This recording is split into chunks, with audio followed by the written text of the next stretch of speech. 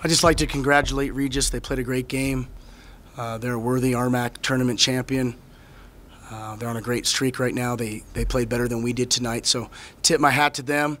Uh, I told my guys in the locker room there's nothing we need to be hanging our heads about.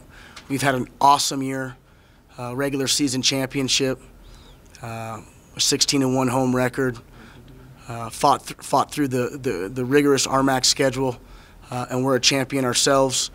Uh, we'll get back to practice on Monday, and look forward to the real season, which is the NCAA regional, uh, and, and see if we can't make a run in the regional. Yeah, you know it's hard to beat a team three times, especially a team as good as Regis. Um, there was really nothing different. They played better than we did tonight. We tip our hat. Um, that was just the difference. Broadbeck was very good. He made shots. We didn't make enough shots. We missed some free throws, but uh, that's sport. It's, it was it's a 40-minute game.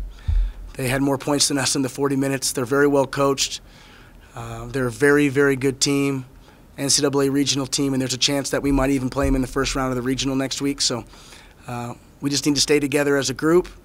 Uh, understand uh, that one loss isn't going to define our season. We've had a special season. Anytime you can win a championship ring in this uh, in this league, it's been a special year, and we're just going to keep moving forward.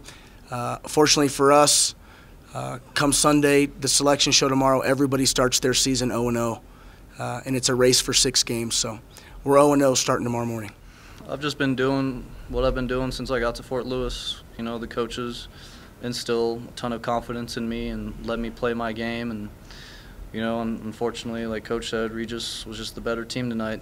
They uh, had a little more energy than us in the beginning, and you could see they jumped out to that lead. And uh, know, in terms of my performance, I I need to be better. I had two in and out threes that I wish I could get back. They felt great leaving my hand. The Whalen rims just weren't on my side tonight. So, you know, and the coaches in terms of rebounding have been preaching that all year, and I just tried to do what I can.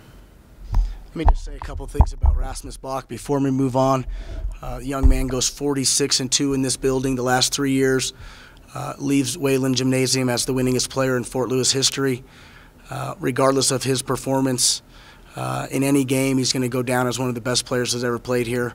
Uh, and I hope our crowd uh, enjoyed him the last four years as much as I have and has his best basketball ahead of him next week in Texas. It was just pretty much just doing anything I could do to help my team out, um, and uh, just trying to respond to um, the Regis um, just tough buckets they're hitting, and just finding a way to stay involved on the court. If I, if anything, um, hustling, poking balls out, getting loose balls, rebounding. Uh, you know, we just they were the better team, and I just did what I could. Um, I think it takes a little bit of a toll, but in this league, you play back to back. You just got to be man enough. I mean, I had a dead leg, and Quell had a bruised knee, and DJ has a bruised calf. But hey, Regis has injuries too, I'm sure. So. Now, we were a little banged up tonight, but that doesn't take away from Regis's performance. But listen, uh, last night was a rivalry game, and, and, it was a very good game, and they were big and strong. And we were a little tired tonight, uh, and, and, a little shorthanded uh, with some of the bumps and bruises, especially with Ferris uh, being being less than 100%. So uh, doesn't take away from Regis.